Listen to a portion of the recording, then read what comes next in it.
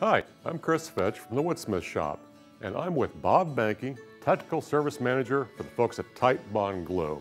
And we're here to talk about a common problem that woodworkers have, and that's glue squeeze out. Well, Bob, how do we avoid it and how do we deal with it? Well, the best way to um, deal with squeeze out is, is really to put the right amount of glue on so that it minimizes the amount of squeeze out. Anything that comes out of the joint is actually not useful for the joint, so we want to try and minimize that, but still get enough glue in the joint to bond the pieces together. Okay, so don't create the problem in the first place. But if we do put a little too much glue in, what then?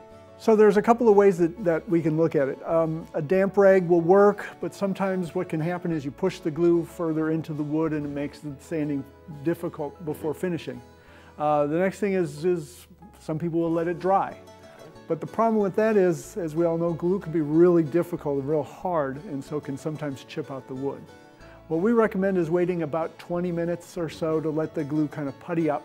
You want it to get soft without flowing all over and then actually on the type brush mm-hmm. we do have a chisel end on there which is good for scraping off the glue. Okay, well I hear what you're saying for like gluing up a tabletop, big broad exposed glue lines, but what about tight little joints and hard to get areas? So during a dry fit, um, we, we want people to do a dry fit so they can look at what are those areas that are going to be hard to sand. In those cases, adding some uh, masking tape to, to the joint, allow a place for the squeeze out to go on, and then it's easily removed with the Ah, masking good idea. tape.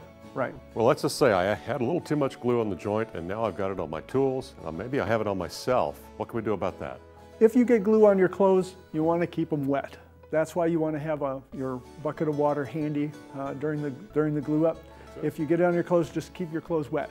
If the glue has dried for some reason, uh, a mixture of acetone, water, and vinegar will soften any of the water-based wood glues, and then they're easily scraped off. And in some cases, if it's real thick, you may need to re repeat. Okay, so I've done my best with cleaning things up, but just to double check before I put the stain on, how can I be sure that the joint is clean? The best way to do that is take some mineral spirits, um, wipe it with mineral spirits. It's going to look like you've put a, a shellac on it or something. It'll, it'll make it look darker, but the places where glue is in the wood grain, it, it's going to stay a lighter color. At that point in time, you, need, you know you need to sand a little further. Well, there you go. Some great advice on glue up, glue cleanup, and what to do if you have a little too much glue from the glue experts at Titebond Glue. Find more tips at titebond.com.